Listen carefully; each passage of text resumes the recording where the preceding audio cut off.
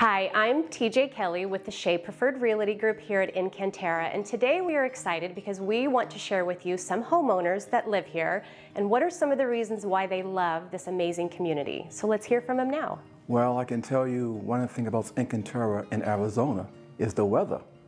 Because Natalie and I have came to Encanterra in 2011 from Massachusetts.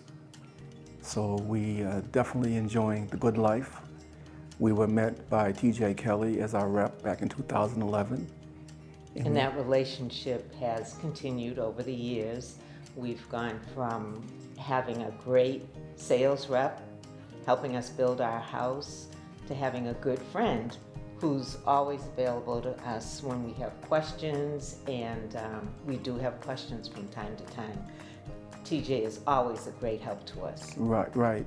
And one of the things in addition to TJ was the beauty of Encanterra. As most of our friends have told us, and you probably heard the same thing, when you drive through those gates the first time, you're overwhelmed. And we just hope that the beauty of Encanterra remains the way it is today as it was when we came back. And there's somewhat, something here for everyone.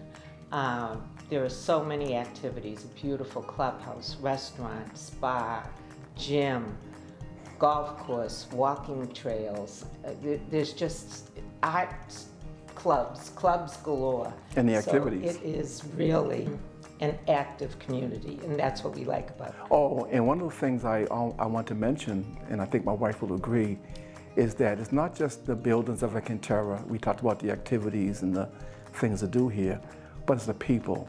And I like to think Natalie and I have great neighbors, which has really fostered our comfort level at Encanterra.